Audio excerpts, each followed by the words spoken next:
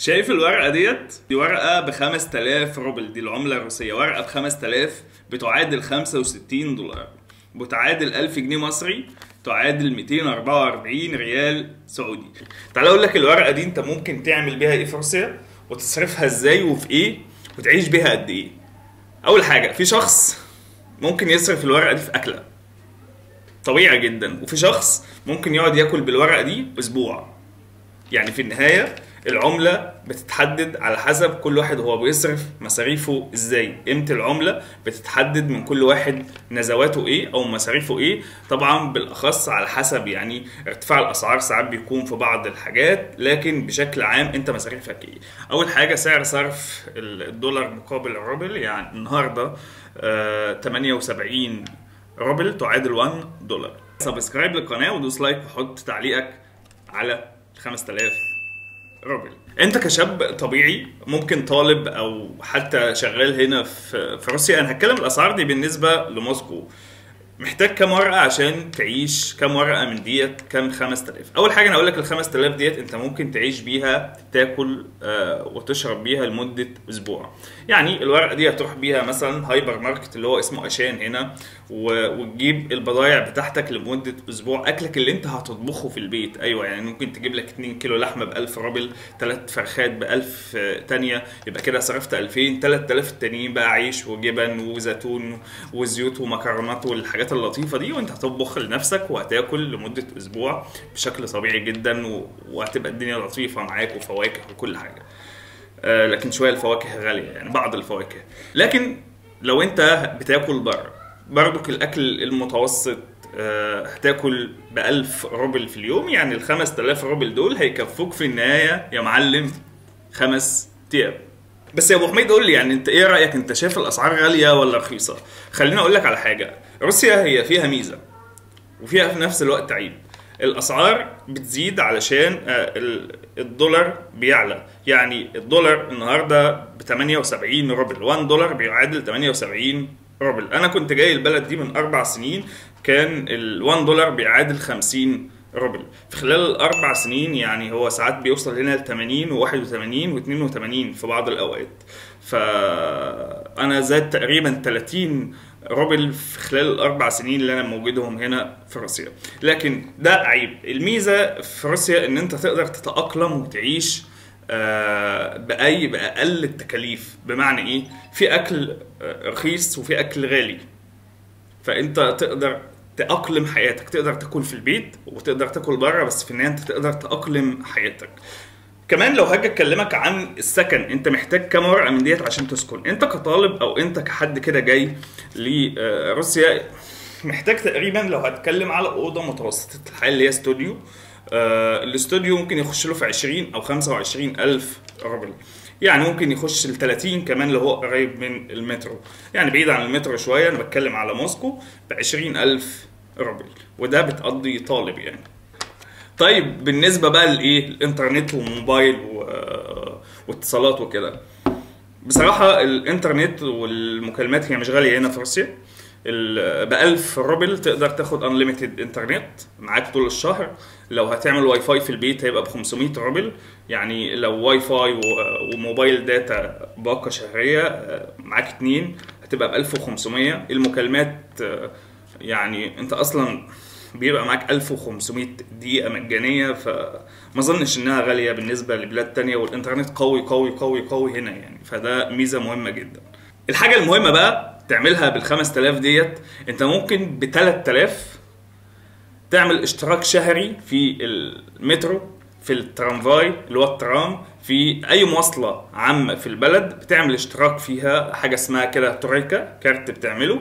بيبقى مشحون لمدة شهر ب 3000 تركب بيه اي مواصلة عامة. طب هيبقى 2000 يا أبو حميد من ال 5000 هعمل بيهم إيه؟ ال 2000 دول ممكن تبقى تركب بيهم تاكسي في الأوقات اللي أنت مروح فيها متأخر وهيبقوا كويسين بالنسبة لك خلال الشهر. ومش معنى إن أنا بقول لك أنت راجع متأخر ممكن تكون سهران. لو انت بتسهر هنا في روسيا فالورقة دي بالنسبة لك ليس لها أي قيمة. يعني لو هتسهر يبقى ال 5000 دول ممكن يتصرفوا في ليلة ممكن 10000 يتصرفوا في ليلة. لأن اللي بيشرب بيعمل إيه؟ بيعمل كل حاجة. الشرب بيجيب شرب والمصاريف بتجيب مصاريف. وفي النهاية عايز أقول لكم على حاجة. قليل جدا حاليا اللي بيتعامل بورق في روسيا. يعني بمعنى إيه؟ قليل جدا اللي بيتعامل بالعملة. كله حاليا بيتعامل اونلاين انت في النهاية ال card بتاعك على الموبايل آه، حتى انت سواق التاكسي أو اي حد اي حد انت بتشتري منه اي حاجة لو انت مش هتدفع له اونلاين ممكن حتى تحول له المبلغ اونلاين يعني يديك رقم تليفون وتحول له عليه. اكلمك عن اللبس. اللبس هنا الملابس في روسيا طول أوقات الموسم العادي فهي تعتبر أسعارها زي أي دولة في العالم بل ممكن تكون آه، أغلى من بلداننا العربية شوية. لكن في ال скидка اللي هو الخصومات أو ال sale بيعملوا خصومات كبيرة جدا جدا جدا. فأي حد بيبقى عايز يجيب لبس بيستنى الخصومات. هنا في حاجة اسمها Black Friday مثلا فتلاقي في خصومات كبيرة جدا. هنا في آه، يوم المرأة عشان يوم المرأة ده هنا حاجة يعني أنت لك أن تتخيل. ده أهم عيد هنا في روسيا طبعا بعد أعياد النصر و والأعياد القومية. يعني عيد يوم المرأة ده من الأيام اللي لازم البلد كلها بتحتفل فيه ف- فأنت ممكن ممكن الورقة ديت ما تقدرش تجيب بيها بوكيه ورد. أيوه. يعني الورد في اليوم ده بيبقى غالي جدا. يعني ممكن تروح تجيب بوكيه ورد ب 7 8000 روبل لك أن تتخيل في النهاية بوكيه ورد. ف في أيام الأعياد بيبقى فيه خصومات طبعا مش بتكلم على الورد بتكلم على أي حاجة تانية بيبقى في خصومات كويسة جدا. طيب في العادي يعني أنا ممكن أجيب بنطلون بكام تيشيرت بكام؟ يعني ممكن تجيب التيشيرت بالمتوسط 1000 2000 على حسب طبعا أنت بتجيبه منين ممكن تجيبه ب 3000 آه البنطلون هتجيبه ب 2000 2000 ونص 3000 طب لو في آه سكيتكا في خصومات الدنيا هتمشي إزاي.